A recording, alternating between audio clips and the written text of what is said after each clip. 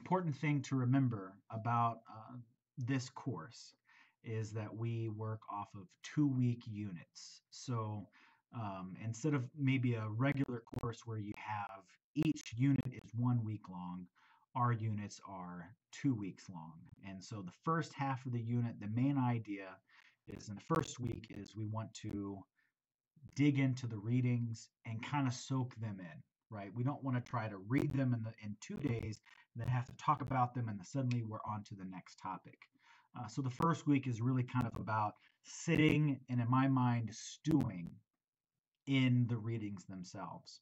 And at the end of that of our first unit you'll have to tell the rest of the class about what what you learned. Um, and then you'll need to apply and answer some questions. Um, after that, the second week will be about engagement uh, with the material and with uh, your fellow students and myself. So, um, so there will be doing mo- mostly replies. And the idea behind the replies is we want you to move the conversation forward. We don't want hey, this is a great idea and I disagree with you, and then we don't have anything else to say.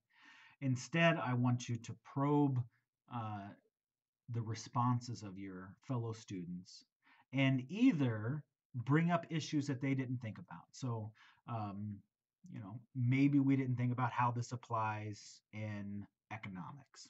That might be something. Or this is a good idea, but if we did this, we might have these other consequences that might not be as uh, that might be harmful. Um, that type of stuff, right? So we want to not just like attack. Well, we certainly don't want to attack the person, but we don't want to attack uh, the idea and and play devil's advocate. Uh, instead, we want to um, try to, in good faith, broaden uh, the application of the ideas that we're playing with. We're going to play with all kinds of ideas each week. Uh, so we really just want to try to spread that around as much as possible. So really that's what our discussions are about.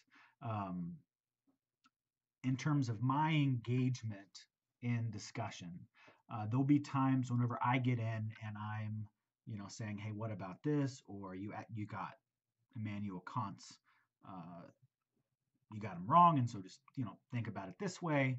Um, other times I'll be answering your questions. Uh, so if a lot of people ask, "Hey, uh, how do we apply?"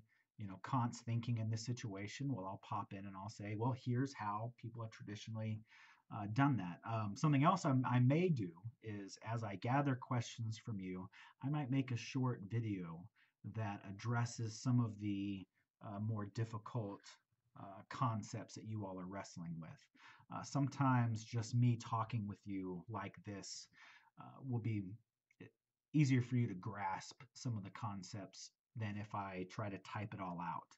Um, so, anyway, that's kind of how um, I approach engagement and discussion. It's one of my goals to try to walk that fine line between being too engaged in the discussion to where suddenly I'm dominating this, the discussion and you're just reacting to me versus being kind of like aloof and ignoring what you all are dealing with. So um, I try to find a good balance between there. So I try to kind of maintain distance, but also engage where appropriate. Um, so anyway, that's that's how we kind of think about and do discussions in this class. Thank you.